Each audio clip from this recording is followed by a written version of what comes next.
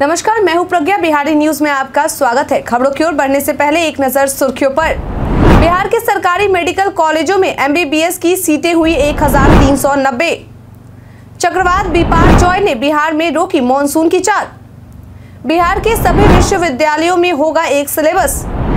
Bihar board ने जारी किया इंटर का डमी रजिस्ट्रेशन कार्ड। सीएसके ने एमएस धोनी को लेकर किया ट्वीट। इसके साथ ही बढ़ते हैं शाम तक की बड़ी खबरों की ओर विस्तार से।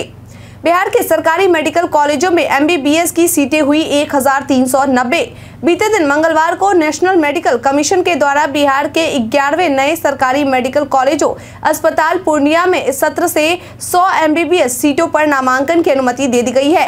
इसके साथ ही बिहार के सरकारी मेडिकल कॉलेजों में कुल 1390 एमबीबीएस सीटों पर अभ्यर्थियों का नामांकन लिया जाएगा। मालूम हो कि बिहार सरकार की ओर से शैक्षणिक सत्र 2023-24 में 100 एमबीबीएस सीटों पर नामांकन को लेकर नेशनल मेडिकल कमीशन को अंडरटेकिंग दे दी गई थी। मालूम हो कि राज्य राज्य के प्राइवेट मेडिकल कॉलेज अस्पतालों में कुल 1170 सीटें हैं। ऐसे में अगर सरकारी और प्राइवेट मेडिकल कॉलेज अस्पतालों में कुल 2560 सीटों पर अभ्यर्थियों का नामांकन लिया जाएगा। नीट रिज़ल्ट 2023 जारी। बिहार के इतने छात्र हुए सफल। नेशनल टेस्टिंग एजेंसी यानी कि एनटीए के द्वारा मेडिकल प्रवेश परीक्षा नीट यूजी 2023 का रिज़ल्ट जारी कर दिया गया है, जिसमें बिहार के कुल चौहत्तर हज़ार नौ सौ सोलह स्टूडेंट्स के द्वारा सफलता प्राप्त की गई है। आपकी जानकारी के लिए बता दें कि इस परीक्षा के लिए बिहार से कुल एक लाख इक्कीस हज़ार छह सौ सैतालीस स्टूडेंट्स के द्वारा आवेदन किया गया था, जिसमें से एक लाख अठारह हज़ार पाँच सौ तैतीस स्टूडेंट्स परीक्षा में शामिल हुए थे और इनमें से चौसठ स्टूडेंट्स को सफलता मिली है, जो की पिछले वर्ष की तुलना में अधिक है। मालूम हो कि पिछले वर्ष एक लाख छत्तीस हज़ार इक्यानवे स्टूडेंट्स के द्वारा आवेदन किया गया था, जिसमें से अंठावन हज़ार छह सौ अड़सठ स्टूडेंट्स ने परीक्षा में भाग लिया था और इनमें पचपन हज़ार सात सौ नौ स्टूडेंट्स सफल हुए थे। बता दें कि इस परीक्षा में बिहार के शशांक कुमार को 720 में से 715 अंक के साथ ऑल इंडिया में चौदहवा रैंक मिला है। वहीं कटिहार के शशांक सिन्हा को बीसवा रैंक मिला है। चक्रवात बेपार जॉय ने बिहार में रोकी मानसून की चाल। बिहार में दक्षिण पश्चिम मानसून की चाल को अरब सागर में सक्रिय शक्तिशाली तूफ़ान बेपार जॉय ने रोक दिया है, क्योंकि वह करंट कमज़ोर पड़ रहा है जो मानसून को आगे बढ़ाने के लिए ज़रूरी होता है। ऐसे में पिछले 48 घंटे से मानसून पूर्णिया, किशनगंज और कटिहार में ही ठहरा हुआ है। हालाँकि भारतीय मौसम विज्ञान विभाग के अनुसार मानसून आगामी तीन से चार दिनों में आगे बढ़ सकता है। वही मानसून के ठहरने के कारण बिहार के पूर्वी इलाके में कुछ जगहों पर लोगों को गर्मी की मार झेलनी पड़ सकती है खास तौर पर दक्षिणी पश्चिमी बिहार में लू चलने के आसार है। इसके साथ ही मौसम विज्ञानियों के मुताबिक पिछले दिनों मानसून की सक्रियता से हवा में आई नमी से थंडर स्टॉर्म की गतिविधियाँ एक बार फिर से ज़ोर पकड़ सकती हैं। विशेष रूप से मध्य और उत्तरी बिहार के अधिकतर हिस्सों में पुरवैया के मिलने से मेघ गर्जन और ठनका की भी आशंका जताई गई है। गर्मी की छुट्टी को लेकर रेलवे ने तीन जोड़ी ट्रेनों को लेकर लिया ये निर्णय। मुख्य जनसंपर्क अधिकारी वीरेंद्र कुमार के द्वारा दी गई जानकारी के अनुसार यात्रियों की सुविधा को ध्यान में रखते हुए रेलवे की ओर से गर्मी की छुट्टी के दौरान चलाई गई तीन जोड़ी समर स्पेशल ट्रेनों के परिचालन अवधि में विस्तार कर दिया गया है। बता दें कि जिन तीन जोड़ी स्पेशल ट्रेनों के परिचालन की अवधि में विस्तार किया गया है, वह गाड़ी संख्या शून्य तीन दो पाँच पाँच, पटना, आनंद बिहार स्पेशल ट्रेन है, जो अब अठारह जून से लेकर उनतीस जून तक प्रत्येक रविवार और गुरुवार को भी चलाई जाएगी। इसके अलावा गाड़ी संख्या शून्य तीन दो पाँच आनंद विहार बिहार पटना स्पेशल ट्रेन अब 19 जून से 30 जून तक प्रत्येक सोमवार और शुक्रवार को भी चलेगी। वहीं गाड़ी संख्या शून्य दो तीन नौ एक पटना आनंद विहार स्पेशल ट्रेन 17 जून से 25 जून तक प्रत्येक शनिवार, गाड़ी संख्या शून्य दो तीन नौ दो आनंद विहार पटना स्पेशल ट्रेन अठारह जून से पच्चीस जून तक प्रत्येक रविवार, गाड़ी संख्या शून्य तीन छह तीन पाँच गया आनंद विहार स्पेशल ट्रेन सोलह जून से तीस जून तक प्रत्येक शुक्रवार सोमवार और बुधवार गाड़ी संख्या शून्य तीन छह तीन छह। आनंद विहार गया स्पेशल ट्रेन सत्रह जून से एक जुलाई तक। प्रत्येक शनिवार, मंगलवार और गुरुवार को चलेगी। बिहार बोर्ड ने जारी किया इंटर का डमी रजिस्ट्रेशन कार्ड। अगर आप भी वर्ष 2024 में बिहार बोर्ड इंटर परीक्षा में शामिल होने वाले हैं तो यह खबर आपके लिए है। बता दें कि बिहार विद्यालय परीक्षा समिति के द्वारा 2024 में होने वाले इंटर परीक्षा की डमी रजिस्ट्रेशन कार्ड जारी कर दिया गया है। ऐसे में विद्यार्थियों को अगर अपने डमी रजिस्ट्रेशन कार्ड में किसी प्रकार की कोई त्रुटि मिलती है तो वह सोलह जून तक इसमें सुधार कर सकते हैं। मालूम हो कि त्रुटि में सुधार करने के लिए बोर्ड की ओर से संबंधित संस्थान के शिक्षकों को आवश्यक दिशा निर्देश दे दिया गया है। इसके साथ ही बोर्ड की ओर से विद्यार्थियों के रजिस्टर्ड मोबाइल नंबर पर इस बारे में मैसेज भेजकर जानकारी भी दे दी गई है। बता दें कि अगर विद्यार्थियों के द्वारा निर्धारित तिथि के अंदर त्रुटि में सुधार नहीं किया जाता है तो बाद में उन्हें दिक्कतों का सामना करना पड़ सकता है।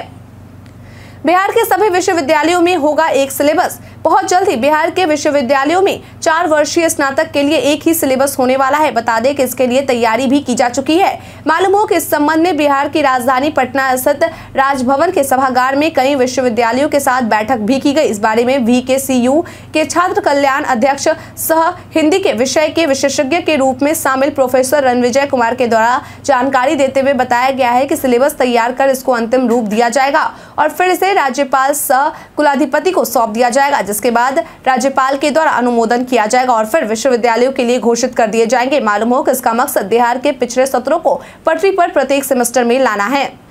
सुशांत सिंह राजपूत की पुण्यतिथि पर इन सितारों ने उन्हें किया याद। बिहार के लाल और बॉलीवुड के स्टार सुशांत सिंह राजपूत ने आज ही के दिन वर्ष 2020 में दुनिया को अलविदा कहा था। ऐसे में आज भी कई सितारे ऐसे हैं जो उनके साथ बिताए गए पलों को याद करते रहते हैं। इन्हीं सितारों में एक सितारे विक्रमजीत विर्क हैं, जिन्होंने कई भाषाओं की फ़िल्मों में काम किया है। और साथ ही वे सुशांत सिंह राजपूत के अच्छे दोस्त भी थे। बता दें कि विक्रमजीत विर्क के द्वारा उर्मिला कोड़ी से हुई बातचीत में एक सवाल का जवाब देते हुए उन्होंने सुशांत सिंह राजपूत के साथ बिताए गए सात दिनों को लेकर एक बात बताई। उन्होंने कहा कि हमने मखना गाना इसराइल में शूट किया था। सुशांत और मैं ड्राइव की शूटिंग के दौरान बहुत अच्छे दोस्त बने थे। शूटिंग इसराइल में छह से सात दिनों तक चली थी। वो मेरे करियर का अब तक का सबसे बेस्ट अनुभव था। जो गाने में हमने ज़िंदगी दिखाई थी, उसे असल में हमने जिया है। हर पल को एंजॉय किया है। मुझे शूटिंग में वैसा लाइफ और माहौल कभी नहीं मिला। वहीं दूसरी तरफ़ रिया चक्रवर्ती के द्वारा भी एक अनसीन वीडियो शेयर कर सुशांत सिंह राजपूत को याद किया गया है, जिस पर यूज़र्स भद्दे कमेंट्स कर रिया को जमकर ट्रॉल कर रहे हैं। इस बार राजधानी में नहीं होगा जल जमाव बिहार की राजधानी पटना में मानसून के दौरान जल जमाव न हो, इसके लिए आज पटना के जिलाधिकारी डॉक्टर चंद्रशेखर सिंह और नगर निगम के अधिकारियों के द्वारा विभिन्न संप हाउस का निरीक्षण किया गया। वहीं निरीक्षण के बाद डॉक्टर चंद्रशेखर के द्वारा कहा गया कि राजधानी में जल जमाव न हो, इसके लिए पूरी तैयारियाँ की जा रही है। नगर निगम और बुड़को की एक टीम बनाई गई है, जो राजधानी में मौजूद नौ से दस बड़े बड़े नालों का निरीक्षण करेंगे। इसके अलावा जिला प्रशासन की भी टीम बनाई गई है। उन्होंने बताया कि पदाधिकारियों के द्वारा स्थल निरीक्षण भी किया गया है, ताकि मानसून में लोगों को किसी प्रकार की असुविधा का सामना न करना पड़े। इसी क्रम में drainage pumping station, sump house और बड़े नालों का भी निरीक्षण किया जा रहा है। पटना के जेपी गंगा पथ पर इस दिन से गायघाट तक दौड़ेगी गाड़ियाँ। 20 जून तक जेपी गंगा पथ पर गाय घाट के समीप सुपर स्ट्रक्चर बनाने के लिए लगे लांचर का उतारने का काम पूरा हो जाएगा और फिर इसके बाद 25 मीटर की दूरी पर बचे हुए एक स्पैन पर गाय घाट तक सुपर स्ट्रक्चर तैयार किया जाएगा और साथ ही वहाँ उतरने के लिए अप्रोच रोड भी बनाया जाएगा। बता दें की जानकारों के द्वारा दी गई जानकारी के अनुसार पंद्रह जुलाई तक फिनिशिंग कार्य सम्पन्न हो जाएगा और फिर उसे वाहनों के परिचालन के लिए चालू कर दिया जाएगा। मालूम हो कि इसके चालू हो जाने से लोगों को दिग्घा से गाय घाट तक जाने में केवल 20 से 25 मिनट लगेंगे। इसके साथ ही लोगों को अशोक राजपथ में होने वाले जाम की समस्या से भी छुटकारा मिलेगी। सैम्बो चैंपियनशिप के खिलाड़ियों को तेजस्वी ने किया सम्मानित। पाँच से ग्यारह जून 2023 तक कजाकिस्तान के स्थान में आयोजित हुए एशियन सैम्बो प्रतियोगिता में बिहार के पाँच खिलाड़ी जिन्होंने भारत टीम का हिस्सा बनकर रजत और तीन काश्य पदक प्राप्त कर राज्य और देश के नाम का रोशन करने का काम किया है। ऐसे में आज इन पाँचों खिलाड़ियों को बिहार के उप मुख्यमंत्री तेजस्वी यादव के द्वारा सम्मानित करते हुए शुभकामनाएँ दी गई। इसके साथ ही उन्होंने कला, संस्कृति एवं युवा विभाग के मंत्री को कहा कि इन खिलाड़ियों को हर संभव मदद दी जाए और यह भी ध्यान रखा जाए कि इन्हें किसी भी प्रकार की कोई कमी न हो।